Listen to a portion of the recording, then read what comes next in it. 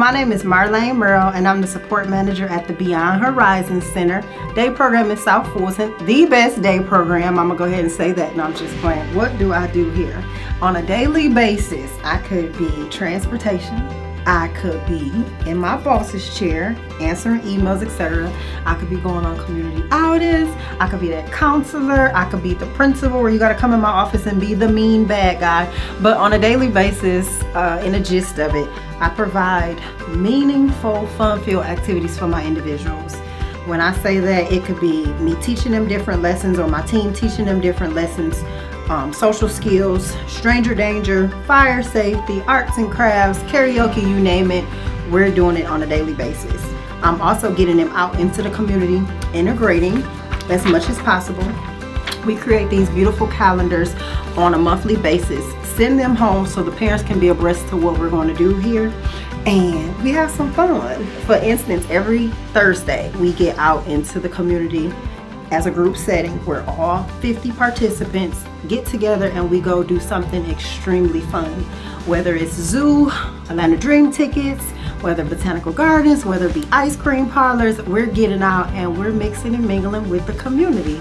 And my guys love it. I've been here almost nine years. Um, my background is education. I used to teach pre-K and kindergarten.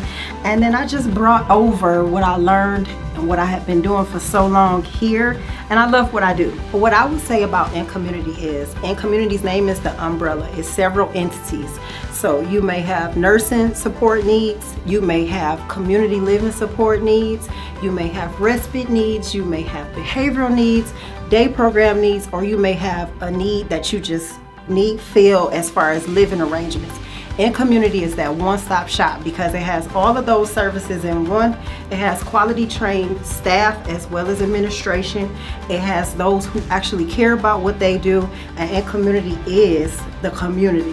Fridays are fun. Fridays are that day where there's not as much structure. Uh, again, we try to operate on a structure basis because with disabilities, that's what they need. But with Fridays, we call it Fun Film Fridays. We definitely get the human rights done. That is the only part and structure of our Fridays. When I say when you're around someone for so long, they grow on you. Just imagine being around almost 50 something so long they grow on you. Again, I've had several different offers over the years to go to different counties, etc. I live far, but these are my babies, so they keep me coming back.